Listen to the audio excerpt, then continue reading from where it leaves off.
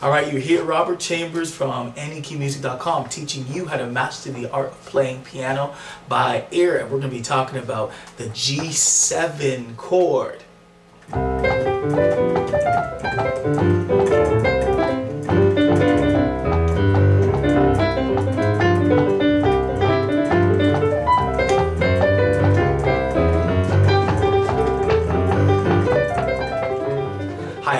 Did a post saying that, you know, warning to all the traditional music theory teachers out there that the G7 is incorrect. Now, the actual chord is not a bad chord, it's not wrong, but the actual naming of the chord is incorrect. And I wanted to hear from a lot of you that are out there. And um, so I'm actually providing my answer to this. Now, I might be the only person in the world that is saying that it's the naming of this chord is incorrect.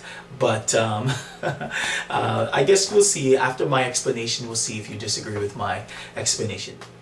All right, so we're talking about the G7 chord. Now, this G7 chord is used all over the place. It's used in traditional gospel music.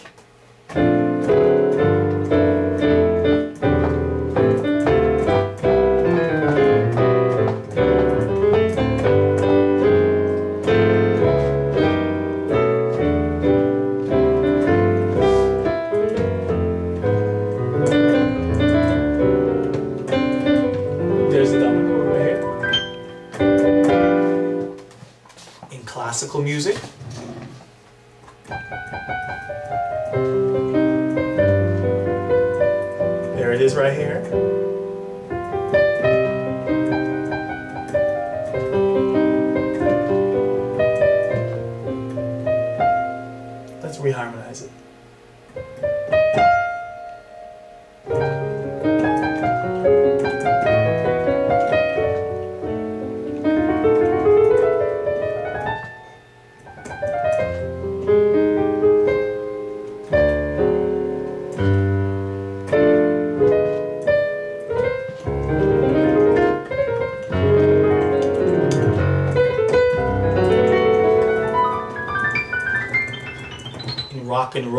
G7.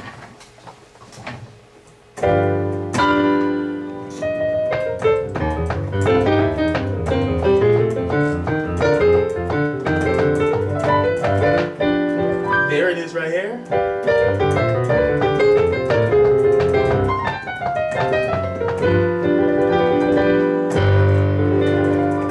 See, there it is. Of course, the G7 is used in jazz.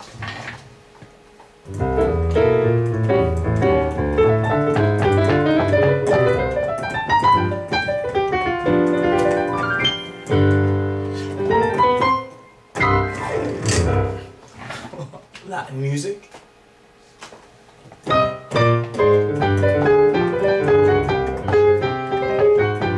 There's the G7 right here.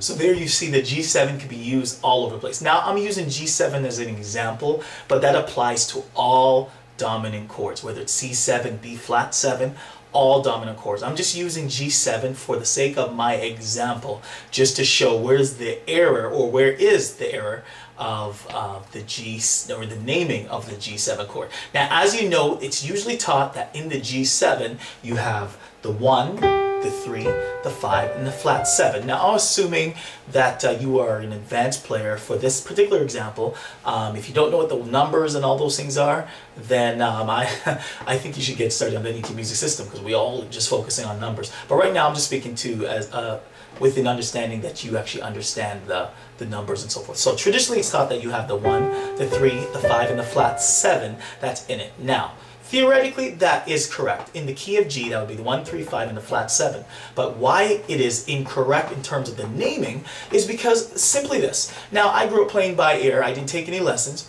But when I learned the names of the chords at age 20, um, and um, they were told me, okay, this is the name, it's the G7, and I'm like, I was just so excited because I finally had a name. I didn't know how to explain this method, or I didn't know how to explain music and playing by ear to actually people because I didn't know the names of the chords. I couldn't say just do this or it's just this. So when I learned the name, I was just like, great, you know. So I accepted it because it, it had it made sense, right? So they told me, yeah, whenever it doesn't, if it doesn't say major seven, it always means that the seven is flat seven. Now I grew up I grew up, um, you know, one of seven uh, brothers and sisters, and I had my father, Jamaican background, and born um, here in Canada, and my father, um, he didn't argue much. So if he told you not to do something, you you just don't do it. And if you ask him, I was a person that asked why. Why does why dad? Why do I have to do that? He said, because I said so.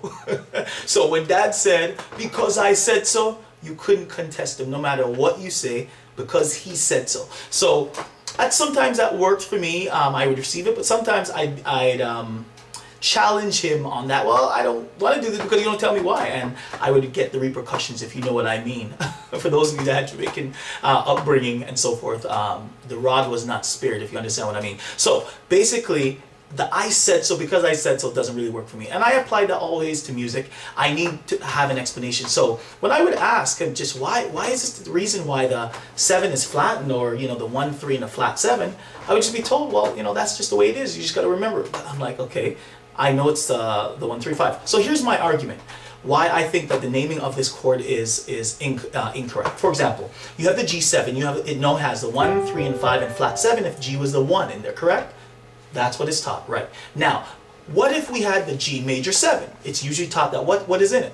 There's taught that it's the 1, 3, the 5, and the major 7's in it, right? You following what I mean? Okay. So, and so I was taught that, or I, I wasn't taught, I was told that because it says major 7, that automatically means that the 7th is the 7th note in the major scale. Now, those of you that know the AnyKey music system and how I teach, basically, I like to keep things very simple. All right, and I wasn't going to eh, actually even challenge this particular method, but because I see that it's actually a, a, a, stumbling block to actually allowing the masses to be able to play piano by ear, I decided to actually review, just to expose and to explain the real reason. Now, I didn't speak with the person that came up with this name, but I'm pretty sure whoever came up with the name, what they really meant, and I'm going to show you this. Okay, so that's what we were told. The G major 7 had the 1, 3, the 5, and the major 7 in Okay, that's great. That makes sense to me. Okay? Now, if we look at the G minor 7 chord. Now, when we have a minor chord, automatically it's told and it's taught that the minor means that the third is flattened.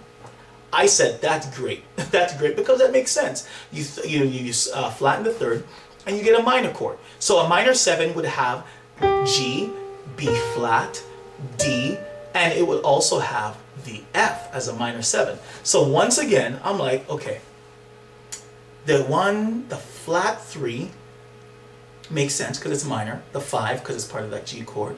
And then the, when it says the seven, um, I like to keep things simple. So when I do a simple major scale, when I say seven, to me, that's the seventh note of the scale. If we have G, G, A, B, C, D, E, F sharp. To me, that makes complete So I don't like to make it more complicated. Now we say minor 7, so automatically I got to say to myself, I got to subtract the third, all right, or sorry, make the third flattened, which is a minor, that makes sense. And then the 7, because I don't say major, I automatically have to tell myself it's flat 7. I'm going to tell you why that. Even though I'm talking about the G7, you're going to see that the C minor 7, the naming of it is incorrect. Now, we do know it does have the 1, the flat 3, the 5, and the flat 7 if we were looking at it in the key of G, but that's not how we got that chord. I'm going to prove my point. Stay tuned. You're going to really like this. Let's look at another chord. Let's look at the G9. So G9. What's in a G9 chord? What's in a G9 chord? Okay, I'll give you a quick second.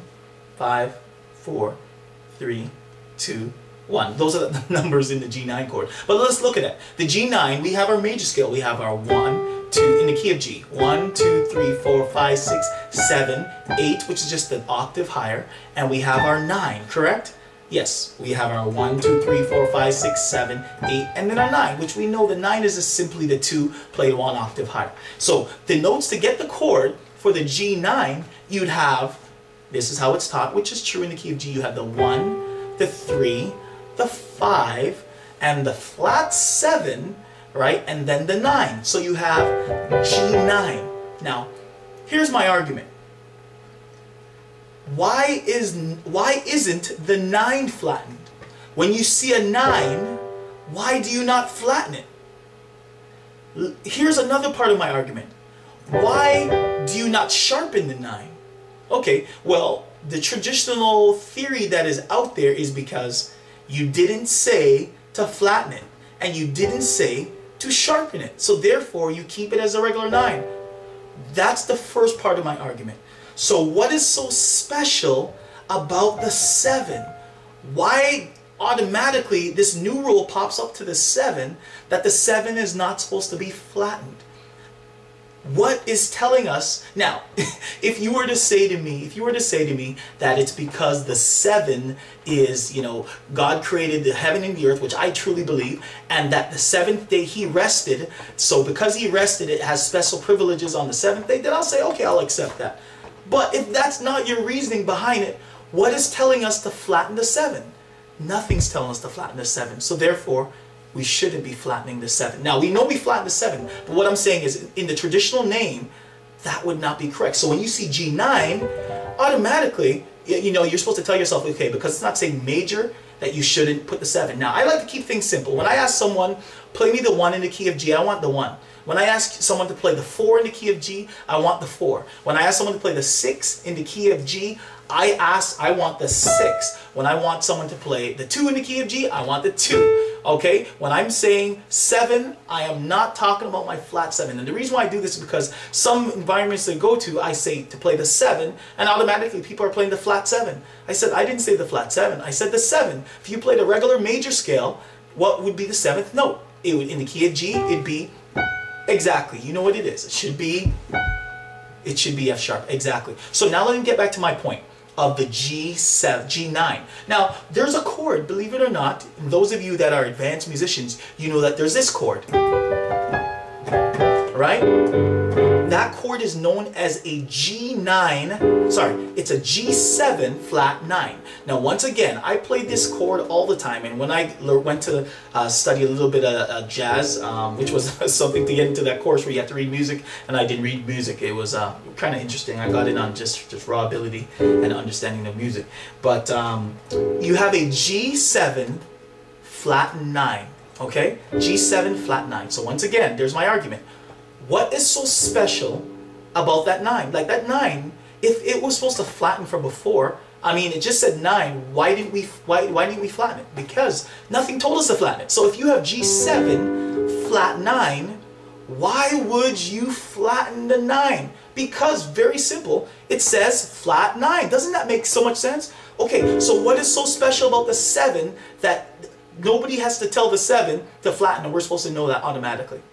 Let me give you another example. Let's look at G7. Let's look at G7 sharp 9. Did you know that there's a chord like that? G7 sharp 9. So if you have a, uh, a particular, um, let's say, uh, I'll show you an application. So let's say if you were here, you can use G, G7 flat, uh, sharp 9 right there. Now I learned the names after. Right? Okay, so there's your G7 sharp 9. Now, how do you know to sharpen the ninth? Very easy, because the name said to sharpen the 9. So what is so special about the 7 that you don't have to tell it to, to move? Somebody explain that to me. Now, obviously, um, you're not going to be able to interact with me because we're not talking live. But that's exactly my point. So that's why I say the naming of that chord is incorrect. Now I'm going to show you the real reason why it was called G7. Okay, it's going to blow your mind how simple this is. Now, I got to also let you know that if you start seeing other people starting to teach it this way, you know that this is the first place where you you saw it. So I'm just release, uh, revealing some of the methods that are used in the AnyKey music system in terms of how to understand and uh, play music. Okay, so let me break it down for you so you can actually see. Okay.